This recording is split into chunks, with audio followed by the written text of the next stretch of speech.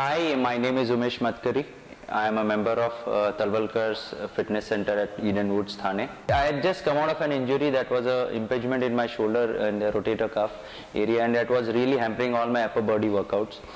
And when I started on uh, the NuForm, it was really a boon to me because the all other muscle groups started working and it did give me a very uh, well toned feel and as well as the muscles started getting coordinated and working all over again.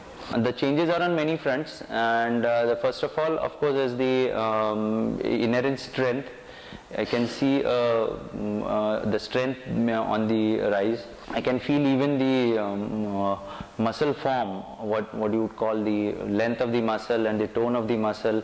Actually it's been very good though uh, for first session, uh, first couple of sessions, I've done at least a few sessions right now. The first session, uh, I didn't feel much, I didn't do much, but it did affect my form as well as, like I said, I was out of an injury, so the results were pretty clear because I was not working out strength. I got results in about a week's time.